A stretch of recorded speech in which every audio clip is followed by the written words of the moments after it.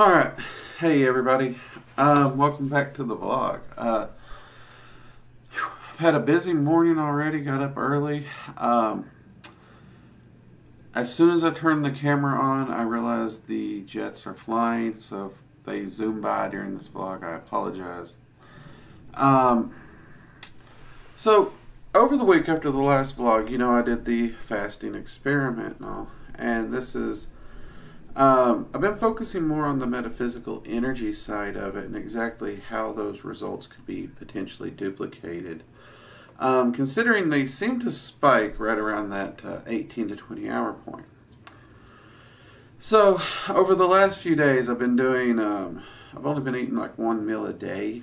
Um, I think uh, I think that's actually the name for that particular eating style, actually. Um, and I've also been trying to do different things with that one meal in an attempt to see what would happen. So, well, the first thing we have found is definitely right at that 18 to 20 mark, we do see a spike in energy. And I've got a few other people that's been helping me do this because eh, they can do a 24. That's no problems for them. Um, and from a metaphysical standpoint, that energy spike and the fact that over the seven days, we never saw an energy spike past the 24. Um, I think that's really important to make a note of because there are a lot of practitioners who, if one wonder if fasting or whatnot, or sorry, it's early, um, if fasting or whatnot can actually help uh, boost their energy levels, and how long they should fast because I mean, you know when it comes to fasting, most people look at spiritual or religious texts and they don't really think about the science of it and depending on the spiritual path or the religious path, you know, there's long, long fasts in there. So from just a magical standpoint, um, a 18 to 20 hour fast before a major working would be sufficient to get that energy boost you need. Um, now, the next thing that I was interested in was what I break the fast with, what I eat when I eat. How would that affect my metaphysical energy as well? Um,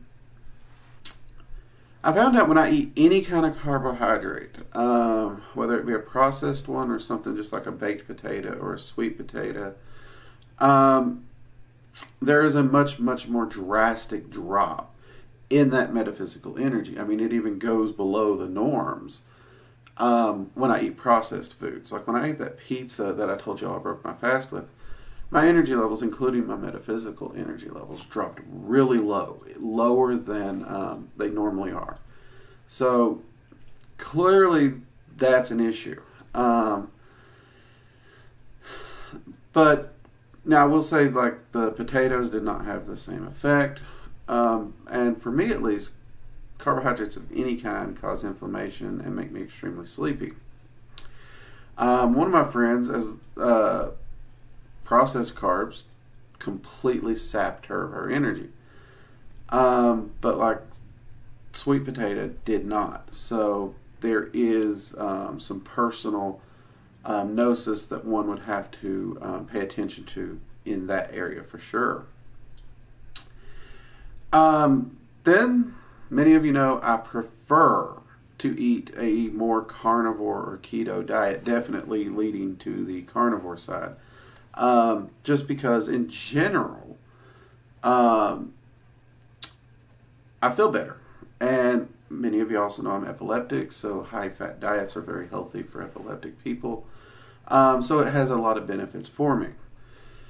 That said, anytime I was I broke this um, one meal a day fast, eating um, carnivore, I did not notice much of an energy drop at all. It was a little bit. It would drop down to, um, I'd say, just above my normal everyday um, levels when I'm feeling good um, which I actually found really interesting. And I found out it would actually go up quicker. Um, so on those days, I was actually getting a slight increase um, coming up. Um, that it could just be a one time thing because I updated y'all on Monday. This is now Thursday, so you know there's been three days we've been able to test this, um, and some of these tests are coming from other people for sure. Um, but that does have me wondering if eating a keto or carnivore um, diet and you know or a diet that would be energetically and physically healthy for the person individual would actually help them keep that energy level up so it does go up quicker. Um, one thing we did test and this seems to be so far universal you drink alcohol energy plummets. Um, and that really makes sense when you look at it because your body will literally try to get alcohol out of the system before anything else. It literally starts storing all other um, food sources and just focuses all its energy on getting the alcohol out. Um, so that actually makes a little sense, but it wasn't something I thought of um, until we just all noticed it. Every one of us occasionally has a drink, and many of us even use um, wines and whatnots in rituals. So it didn't even occur to us that that's really got all of us reconsidering um, whether or not we want to use alcohol in rituals. Um, now you'll notice I said rituals. I do occasionally like to have a nice scotch or a glass of rum or something or a margarita. Um, but I've also not been drinking. Well, I've next to the drink I had for these experiments um, with dinner. I've not had anything in a long time because of the fasting. So, uh, I do plan to, you know, taper off on my alcohol because the honestly the weight loss results we saw from the fasting continued um, this week as well until I drank the alcohol that night. Didn't undo things, didn't damage me, but it did severely um, appear to stall the progress, and I definitely think the alcohol was the reason. Um, so I am going to try and start limiting my alcohol a lot more. Um, maybe only have it for special occasions. We will see. So, with it being Thursday, I know I have a birthday party I got to attend Saturday on Beltane, um, which I hope everyone has a wonderful Beltane. And by all means, please share and let me know what you plan to do for Beltane. Um, for me, me and my wife have actually been discussing how we're going to celebrate the Sabbats. Um, this is something she's been thinking about and wanting to get into more. Um, I've never really been a holiday person, so it just isn't something cross my mind usually. But the fact that she wants to means this is something that we're definitely going to be doing. And I'm going to be supporting and helping. And, well, I enjoy celebrating with people. So um, the fact that she's thinking about it means I'll be thinking about it.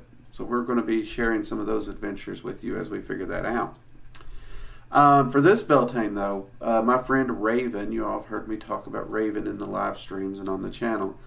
Her birthday is actually May 1st, so Saturday we are all going to get together and we are going to have a birthday party for her. Um, we're doing a crawfish boil, some ribs, um, steaks. Um, so it'll be very easy for me to celebrate and stick to the carnivore.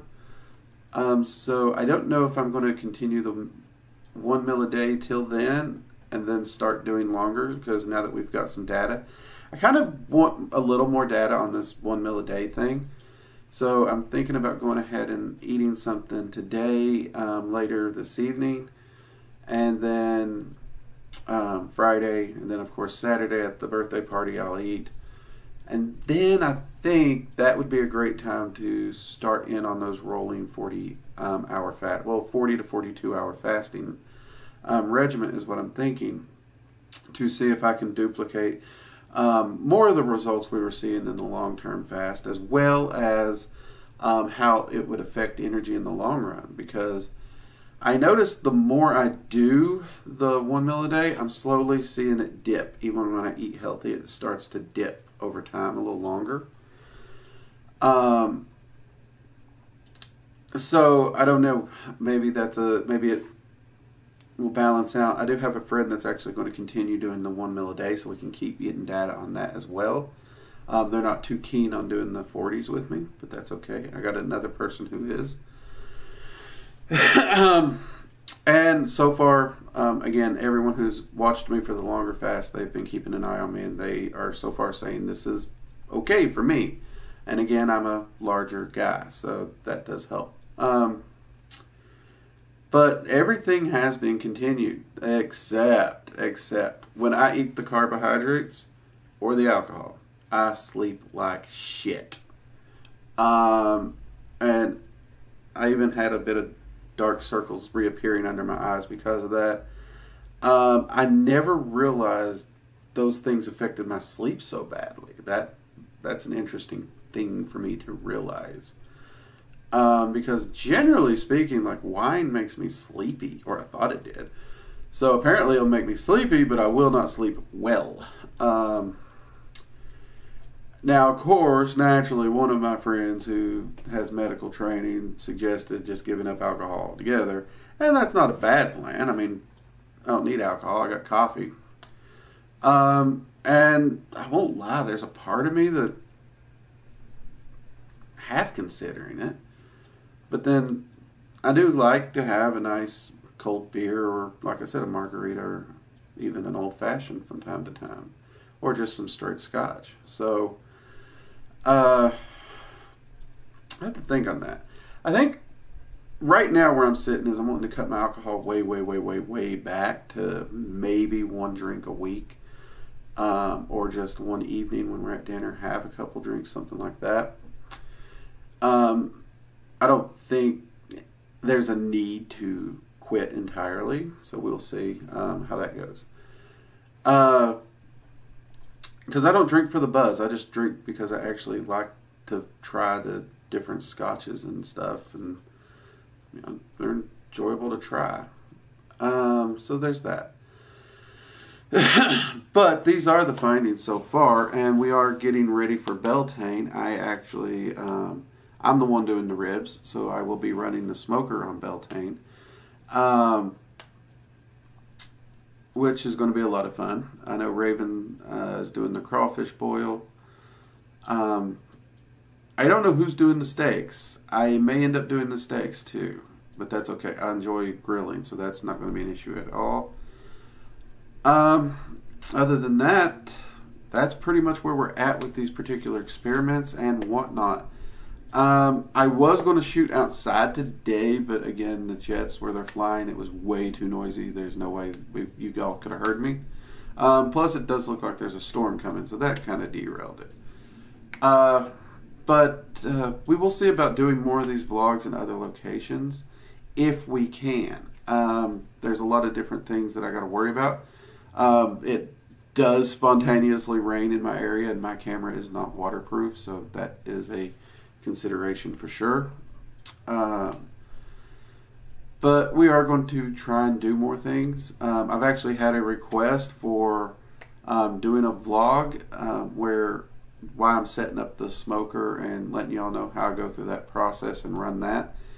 Um, true, these vlogs are usually more um, just raw cut, unedited, um, but uh, I think that would be a great way to do it to shoot one of those and run that through, and even give some nice little uh, kitchen witch ideals in that particular one. So I really did like that ideal, so thank you for that one. Um, and with that, I'll go ahead and sign off here so I can get this uploaded so y'all can see it.